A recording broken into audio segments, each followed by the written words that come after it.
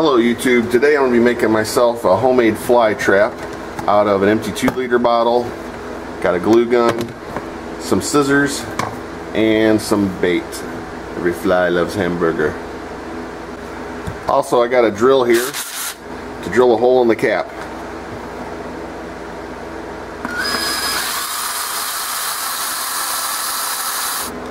There we go. I'm going to cut the top off the bottle.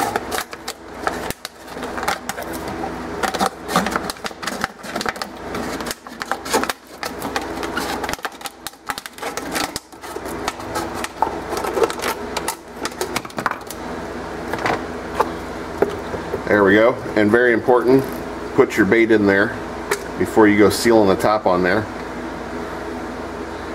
If you don't have a hot glue gun, a uh, roll of duct tape or electrical tape should work just fine, but since I've got this, I'm going to go ahead and use it.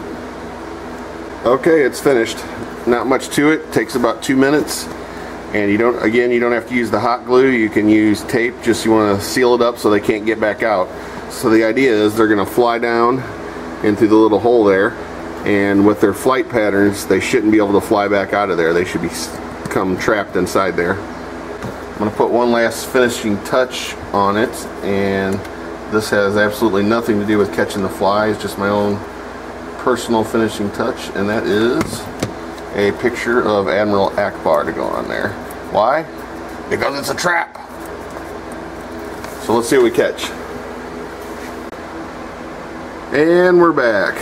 I've had this sitting outside about two hours and I've caught one, two, three, four, five, six, seven, eight flies. So that's four flies an hour or a fly every 15 minutes.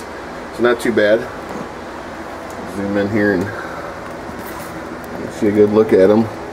So that's eight less flies that'll be buzzing around and messing with my barbecue. So this is a quick and easy fly trap you can make with just a 2 liter, a pair of scissors, hot glue and some tape and drill a hole in the lid and they're not flying back out of there. Hope you enjoyed the video, hope it helps and thanks for watching. The trap, it's a trap.